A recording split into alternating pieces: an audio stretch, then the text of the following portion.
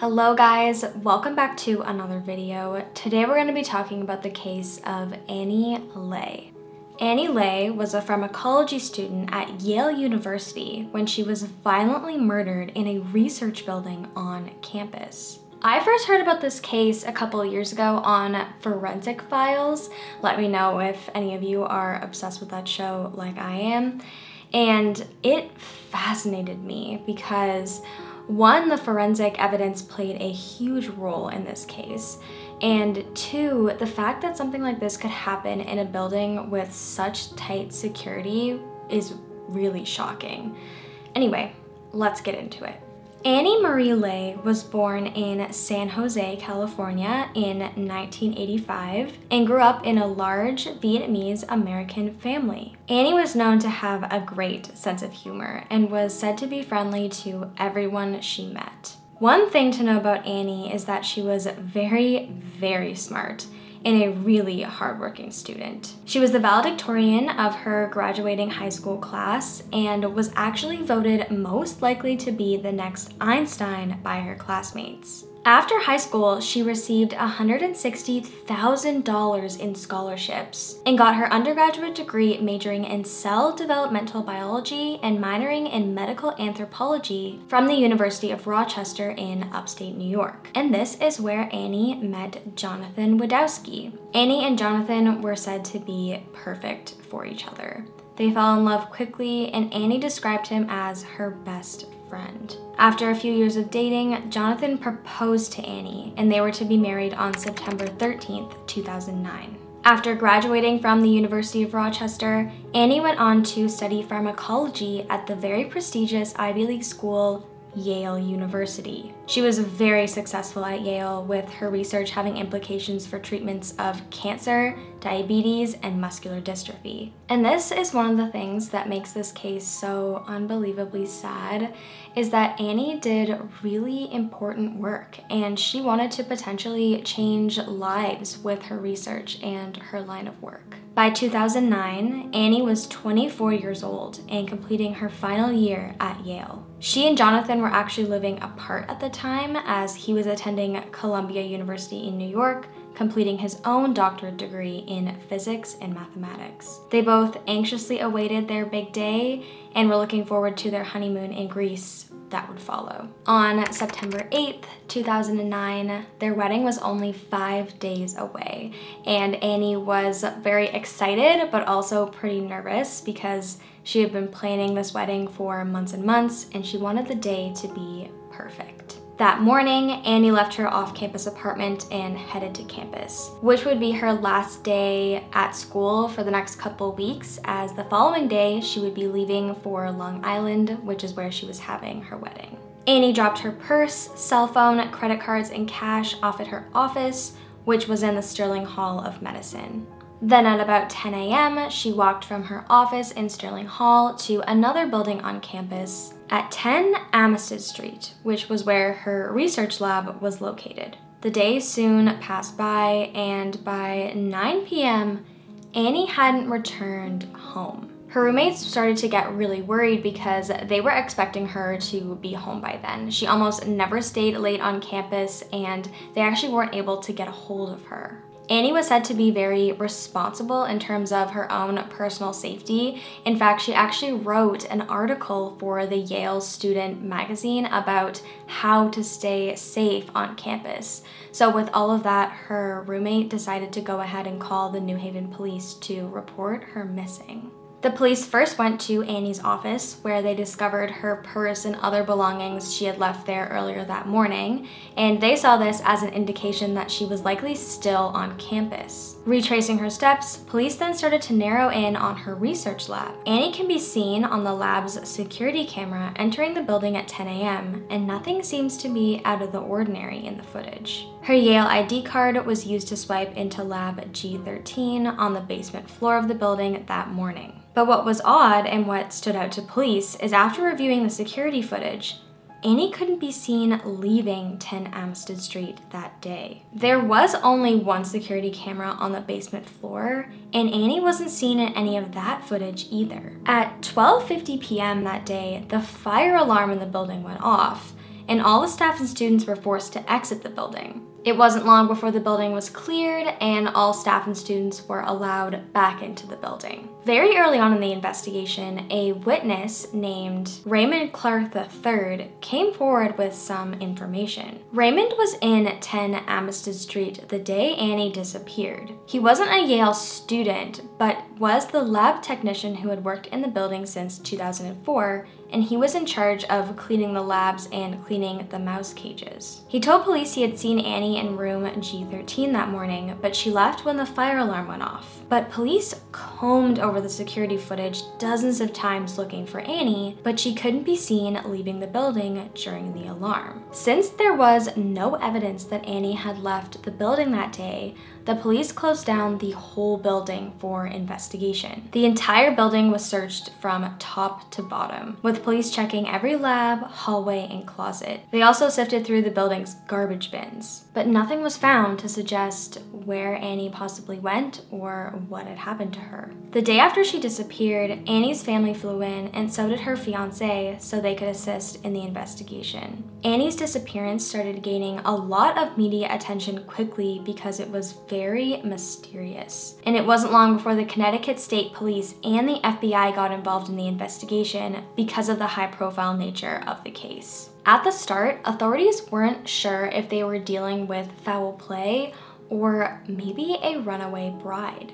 Due to the fact that Annie's wedding was only a couple days away from when she disappeared, police considered the possibility she just got cold feet before her wedding and took off. But through interviews, police learned Annie had been very excited for her wedding, and she had been planning it for months. She never mentioned even once that she was having second thoughts, and her friends told police she loved Jonathan more than anything, and that she just, she wouldn't do that. And after speaking with friends and family, and the fact that there was no evidence she even left the building that day, this was quickly ruled out. It was really mysterious, and everybody who was following the case was just stunned that she could go missing in the middle of the day from a very secure building on campus. Smart pretty, and conscientious. That's how friends describe Annie Le. A lot of good friends, a wonderful fiance she's going to marry on Sunday. We all love her a lot. Photos of the 24 year old Yale medical student on Facebook show the bride to be smiling, posing in her wedding dress, and with her fiance, who she describes as her best friend. But now police are focusing on another picture, this one, which may be the last photo taken of Annie. Surveillance cameras capturing the petite medical student Tuesday morning as she entered the Yale lab where she worked, disappearing later that day without a trace and without her things. She left her pocketbook, her cell phone, everything in the lab. Le was supposed to marry her fiance, Jonathan Widawsky, a graduate student at Columbia, this weekend in New York. He's an amazing kid, wonderful, wonderful boy. And he just must be so heartbroken. I just cannot imagine. Thursday, investigators combed over the lab, later sorting through dumpsters looking for clues. Coworkers uh, can't understand how she disappeared in the middle of the day. Look at all the people. How could that happen? She is a little tiny thing, but still, I mean, it's amazing. It really is. It's pretty scary. We're just praying that she's just going to pop up somewhere and everything's okay. We're not going to look at the worst here. Then on September 12th, three days after her disappearance, police went back to 10 Amistad Street to conduct a second search of the building. It was then that they found blood spatter as well as beads that looked to be from Annie's necklace in the lab she was in that day, which was room G13. During the search of that room, an officer also lifted up one of the ceiling tiles and found a sock and a blue rubber glove stuffed in the ceiling. Both items had blood on them. Luminol was sprayed in the room, which uncovered a very bloody crime scene that had been cleaned up. While they were searching, police started to pick up on the very distinct smell of human decomposition, but they couldn't tell exactly where in the building it was coming from. The following day, September 13, 2009, cadaver dogs were brought in, and it was then that Annie's body was found stuffed inside a wall behind a cable chase in the basement. This was a devastating end to the five day search, and most heartbreaking of all is the day her body was found was the day that she was supposed to be getting married. Good morning, Maggie. It was the discovery that everyone dreaded after an exhaustive search using sniffer dogs and high-tech equipment. Last night, authorities announced they had found remains. And even before they had made positive identification, they say they believe it is indeed the body of 24-year-old Annie Le. Five days after Annie Le vanished, state police found a body in the building where she was last seen alive. Shortly after police made the announcement, Yale's president offered his condolences. Our hearts go out to the family of Annie Le, to her fiance, to her friends. The family and fiance and friends now must suffer the additional ordeal waiting for the body to be positively identified. The discovery stunned students who had held out hope until the end. Uh, I mean, I, you know, really tried to remain as hopeful as possible throughout. Um, I certainly didn't think it would uh, end in the way that it did. Um, I think uh, it's um, just incredibly gruesome. The discovery came on the same day Le had been scheduled to be married on Long Island, New York, to her college sweetheart, Jonathan Widawsky. Such a tragic ending. The focus now obviously finding the person responsible. Police would not say whether they have any prime suspects. Meanwhile, we are told that the only people who have access to the area of the building where the body was found are those with Yale University identification. The Connecticut Medical Examiner's autopsy found that Annie had died as a result of traumatic asphyxia due to neck compressions, meaning that she was strangled to death. She had a broken jaw and collarbone, injuries that had occurred while she was still alive, so it was a very violent attack. She had many other broken bones, which were caused when she was stuffed into this small opening in the wall, which is just awful. I don't know how someone can do that to another human being.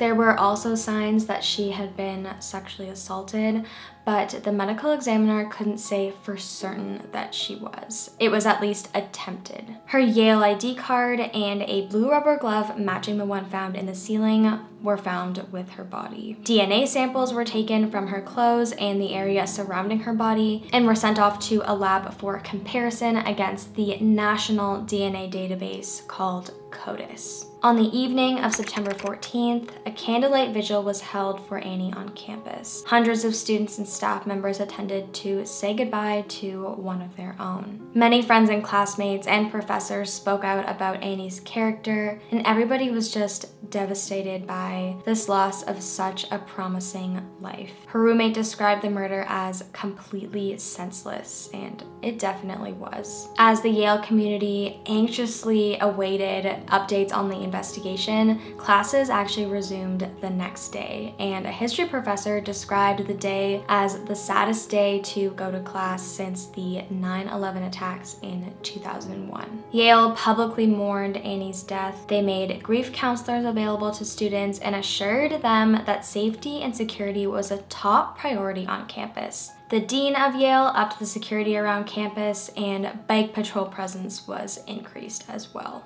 The entire campus was on edge, not only because Annie's killer was still at large, but that it most likely was someone from the Yale community, since the building and the room that she was found could only be accessed by the Yale ID cards. Due to the high security measures in the building, authorities and Yale officials maintained that it would be extremely difficult for someone without a Yale ID card to enter the basement laboratory, leading them to focus their investigation on Yale employees and students. Given this, Annie's fiance was quickly ruled out as a suspect. He was also at Columbia University at the time, and all the evidence pointed to that it had to be someone who had access to the room where the murder took place, which was room G13. This only made the fear on campus even worse, with people being afraid to even be on campus at all, knowing that a killer could just be walking around on campus. Police soon got a hit on the DNA samples taken from the area around Annie's body, but it was not the answer they were expecting. The DNA matched a man named Kieran Robinson, and he was a convicted felon, but Something definitely wasn't adding up because he had actually died years before Annie's murder. Turns out his DNA being at the crime scene could be easily explained. He had actually worked in construction and had worked in that particular room years before his death, which is just crazy the power of forensics. And it's wild that his DNA was preserved for many years you know, behind that wall. Unfortunately, there were no other matches from the CODIS database, which kind of left police at a dead end on that front. After a couple more days had passed, police interviewed over a hundred people, watched footage from over 75 different security cameras on campus, with no luck. Police determined that there were only three people who accessed room G13 on the day that Annie was murdered. One was Annie, obviously.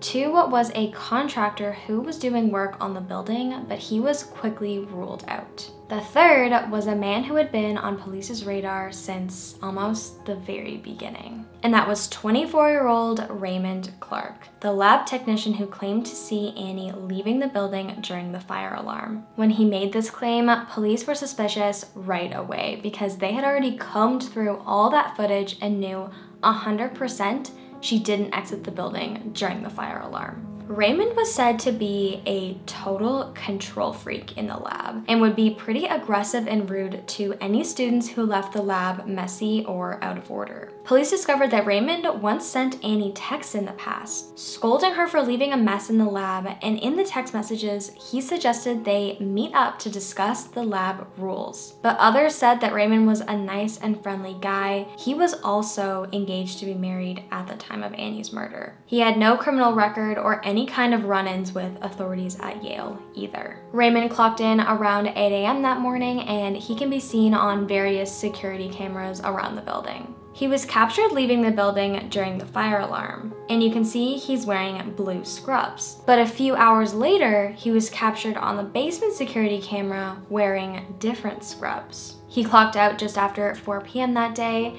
and police believe that he killed Annie in room G13 sometime before the fire alarm took place. After the fire alarm, he returned to room G13, cleaned up, and changed his scrubs. The keycard data showed that Raymond went into G13 over 50 times that day, probably going back and forth, cleaning things up, and making sure he didn't miss anything.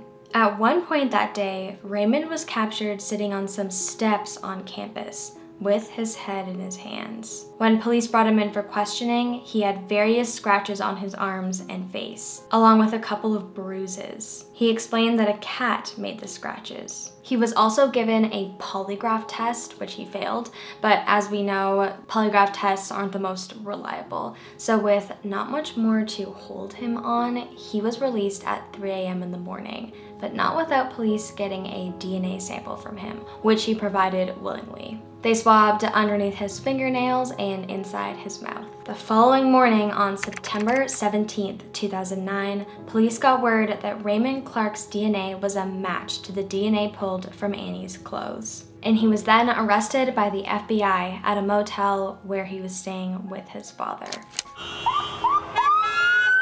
Authorities got the green light shortly after 8 this morning. Immediately, barricades went up on the highway in front of the motel, and a team of FBI agents raced up the back stairs straight to room 214. There they found Raymond Clark in a white shirt, tan pants, and soon he was wearing handcuffs. Hidden behind tinted windows, he was brought into the New Haven Police Department. Hey, big man. Enjoy jail.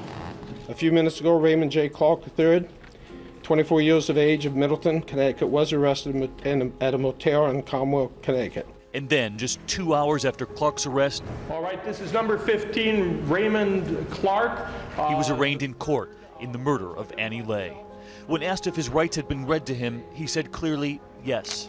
The evidence was just overwhelming. They soon found the scrubs he was wearing that day, and they had Annie's blood on them. The logbook showed that Raymond had signed in that morning with a green pen, and a green pen was found with Annie's body inside the wall. He was no doubt on the crime scene that day. He was one of the only people that accessed the room that day. He got his DNA on her clothes, her DNA was on his clothes. There was even blood found on his boots, and they tracked him through the surveillance footage. It was a very solid case, evidence-wise. The footage of him with his head in his hands on that day is just so eerie. That, my friends, is a guilty man. The physical evidence was just so, so strong in this case. Good morning, Julie. 24 year old Raymond Clark III woke up this morning in a high security prison about an hour north of here. He was arrested yesterday in the death of 24 year old Annie Le. Clark was picked up at a motel where he spent his last night before his arrest dining on pizza. New details are also emerging about the man authorities believe savagely strangled Yale graduate student Annie Le before stuffing her body behind a wall. The Hartford Courant reports evidence found in the ceiling and crawl space where the body was discovered contained her DNA and Clark's. Today's New York Daily News says Clark's lab boots have Le's blood on them and that he may have dropped his signature green pen into a crevice, then brought fishing hooks and wire to work, possibly to retrieve the pen. This is not about urban crime. It's not about university crime. It's not about domestic crime but an issue of workplace violence. Because the physical evidence was so strong in this case, police didn't really need to establish a motive. So that kind of still remains a mystery to this day unfortunately. Investigators were able to confirm that the two of them in no way ever had any kind of romantic relationship. All they could really find was on the day of her murder, Annie had sent out a mass email to everybody in the building explaining that she was getting married on the 13th and would be away for a couple weeks on her honeymoon. And they could see that Raymond opened that email. Police speculated that maybe Raymond had some kind of crush on Annie, and this email led to a jealous fit of rage, but nothing of the sort could be confirmed. Annie's friend suggested that maybe the article she had written about campus safety was somehow connected to this. She said, the only thing I can possibly think of right now is maybe a psychopath, an antisocial person who, I don't know, maybe got upset about what she wrote back in February about not being safe. The fact that she wrote about safety on campus to later be murdered on campus is very unnerving and a really crazy coincidence that you kind of have to wonder if that played any kind of role in this case. Raymond's former high school girlfriend soon spoke out about him, saying that he was extremely controlling. He would tell her what clothes she could wear, where she could go, and what friends she could have. She also said he would get very angry and physical with her to the point where she was frightened.